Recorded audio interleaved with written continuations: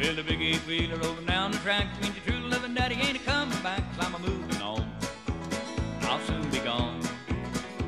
Avec Alain Royer Dupré un peu abattu après peut-être cette euh, contre-performance de américain. Comment on peut l'expliquer? Bah, c'est c'est assez simple. Euh, La piste est très légère. On tombe sur euh, une, course sans train. Jockey qui connaît pas le cheval, donc euh, il va.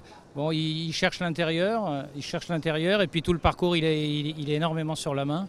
Et puis finalement, ça, vous passez à- de plein bras à, tout d'un coup à un démarrage euh, brutal. euh, il a jamais aimé ça, ce cheval-là. C'est un peu comme dans le Cargorlet à Deauville où ils avaient été à deux à l'heure, et puis tout d'un coup, ça a déboulé. Le cheval, c'est pas ça. C'est un cheval qui a énormément de tenue. Et c'est pas un cheval qui peut, qui peut faire 400 mètres très vite euh, comme on l'a vu aujourd'hui. C'est pas un cheval à la française en gros. Non, c'est pas un cheval. Non, non, c'est c'est pour ça qu'il a très bien réussi à l'étranger d'ailleurs. Et justement, alors quel va être son programme désormais? Je ne sais pas. Et le cheval euh, normalement doit rentrer au haras. Je ne sais pas. Il va sûrement recourir une course ici, je pense, et après rentrer au haras. Oui. Très bien. Merci beaucoup monsieur. Merci.